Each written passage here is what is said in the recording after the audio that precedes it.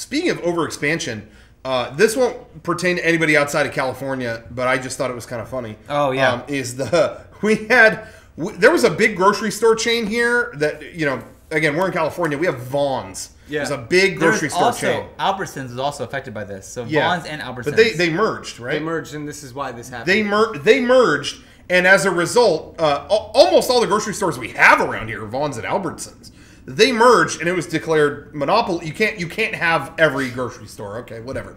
So they sold some of their locations uh, to a company called Haggen Haggen, Haggen's, Haggen's. or Haggen's? Haggen's. Haggen's. Haggen's. Okay. and uh, this place was suddenly every grocery store everywhere was Haggen's. Like overnight, it was like, what the hell? yeah. I've never seen anything implode quicker. It was like it opened and it was like cool, and I went and it was like they don't have like half as much stuff here. Wow, everything's really expensive. I don't think I'm gonna come back here. And it was like two nights later.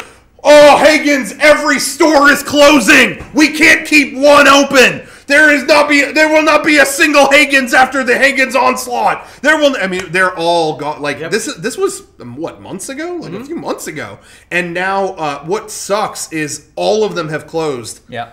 They're all closing. All the ones in California are closing. I think they're keeping one in Washington. Oh, good. So good for them. But uh, it sucks because so many people are losing their jobs as a result of this. yeah. And they're like, oh, but don't worry, we gave them a 60 day heads up. So they'll still be good for 60 more days. And everyone is like, okay, cool. Count 60 days from now. It's like, all right, Merry Christmas. Yay. It's like right, right in the holidays. All of them. Damn. Yeah. so Uh, anyway. So, yeah, but now Christmas. all that really great. happened was someone came in and took away 75% of the grocery stores that we can go to. Yeah, and now we have no yeah. grocery There's stores. like we have like no grocery store, and and all these guys are talking about in terms of local economy. They're Yeah. all like, yeah, grocery stores are hubs of so many like shopping centers and this and that.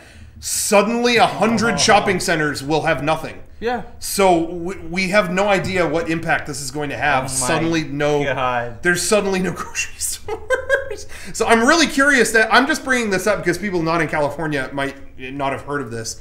Uh, I'm really curious to see how this will pan out, uh, or maybe it'll be nothing. But either way, it was weird suddenly overnight seeing 80, 80 stores called Haggen's, and suddenly overnight not having any of them. Well, yeah, there's billboards saying Haggen's is coming to town, and now yeah, it's gone. Now it's Hey- gone. That Haggen- was like a month they, ago. They haven't even Hold taken down the billboards. They're changing it to leaving town. it's crazy. What a horrible rollout. Haggen's has left the building. Yep.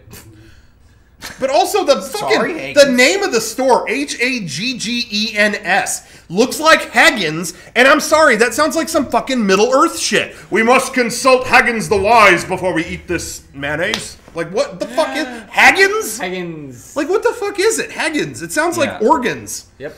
The, the horse had his Haggins ripped out before he fell off the fucking Christopher Reeve's house. Whatever. Anyway, all right, Whatever. Whatever. whatever. Uh, I should have called it Pie Hole. I, Uh, I was shopping at a shop called Pie Hole. yeah, But I would have shopped there.